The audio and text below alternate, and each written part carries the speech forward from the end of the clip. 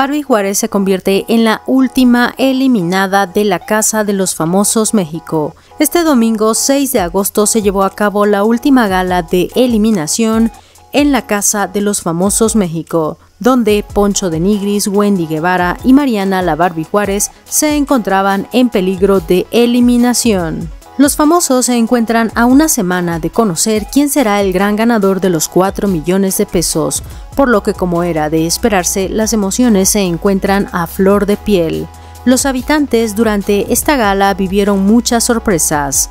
En primer lugar recibieron la visita de Paulina Rubio, quien entró al reality para convivir durante unos minutos con ellos, además de llevarles varios obsequios.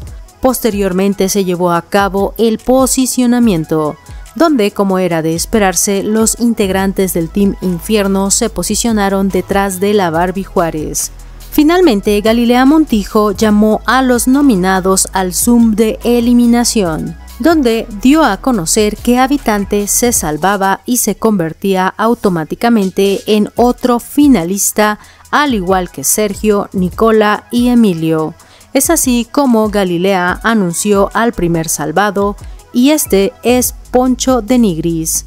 Es así como Poncho regresó con el resto de los habitantes a la casa.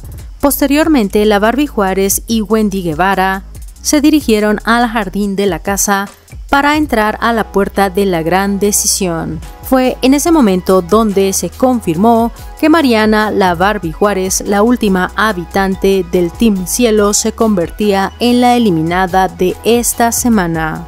Es así como Wendy Guevara regresó con los integrantes del Team Infierno, quienes ahora se convirtieron oficialmente en finalistas.